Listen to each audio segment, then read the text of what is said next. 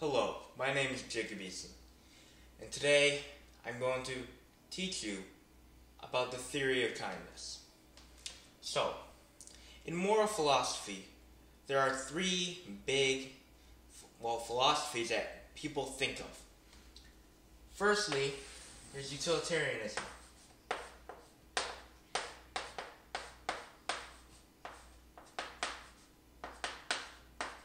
And utilitarianism basically states, in the simplest terms possible, that to be happy, you maximize the amount of utility or happiness for everyone else in the system. However, there's also Kantism. Kantism says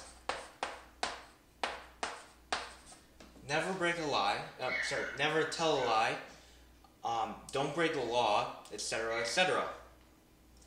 Now, the problem with utilitarianism and the problem with Kantism are is that utilitarianism you maximize the amount of happiness for everyone else except for yourself. I apologize for my dogs. They are uh, they're dogs. And then there's Kantism. The problem with Kantism is that even if your lie is has is protecting someone from danger. You can't tell that lie under Kantism. And then, of course, is deontology. And in deontology, essentially it means to not stray from your duties and, and uh, objectives and obligations, all of that.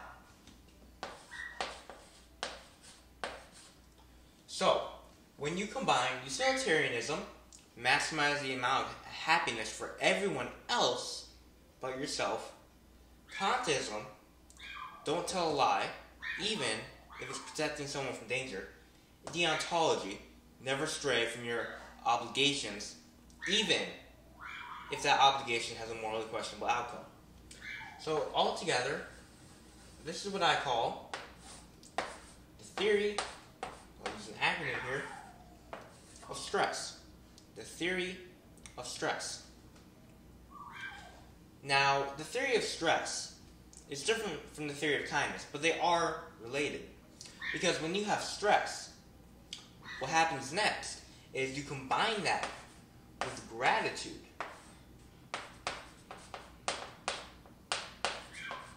You combine that with gratitude to get the theory of lemonade, which I denote as an L subscript M.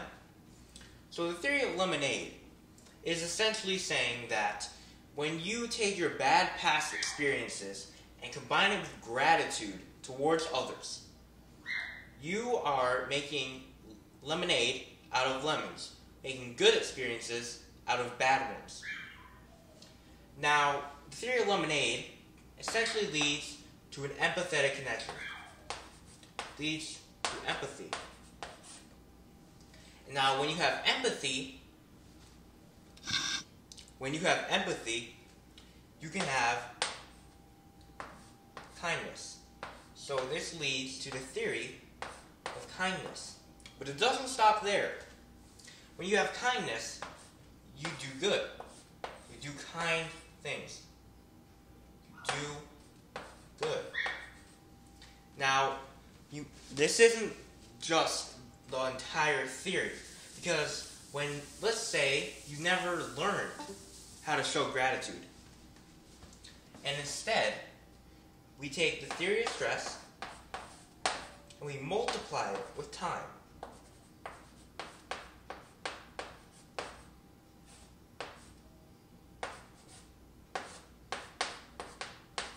We multiply it with time now, what happens next is we get what I call, give me one second to erase, we get what I call the theory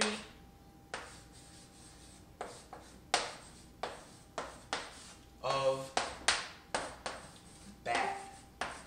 And the theory of bad essentially states that when your stress, your, your stress from your obligations from promises and secrets and trying to make others happy when with excluding yourself from that list is multiplied with time.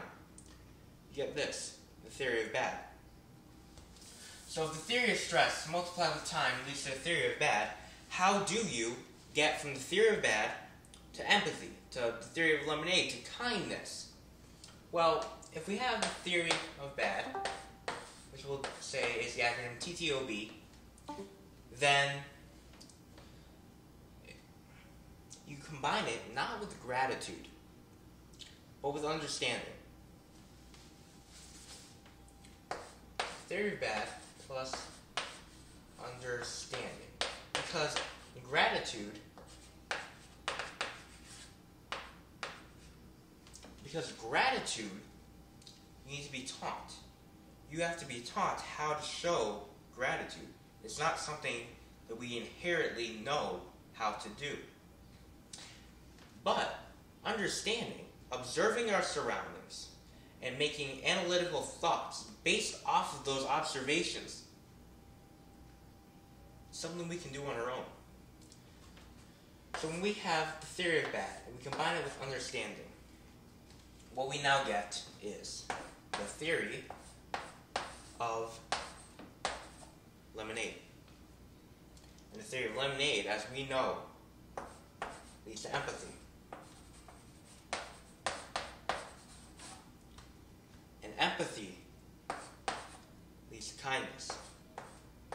And kindness doing good.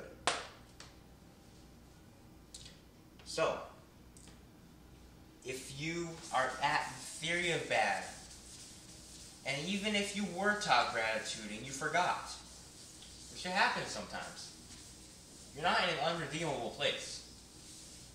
You're merely off track a little bit. Because I see it not as a line, but as a cycle. You have stress. And stress leads to the theory of bad. The theory of bad, when combined with understanding, which will script we will denote as U.S. understanding, also United States, but so we get stress leads to the theory of bad, which combined with understanding leads to empathy, which leads to kindness. But if we focus too much on being kind to others and not enough on ourselves, we get back to stress.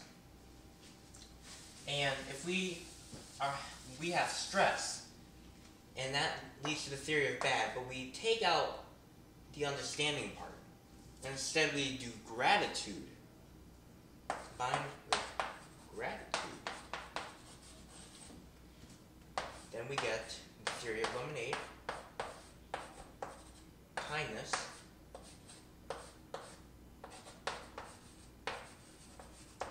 which eventually, if we don't take care of ourselves, will lead back to stress.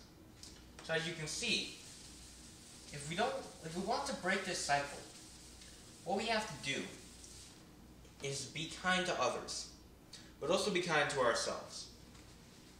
Because this cycle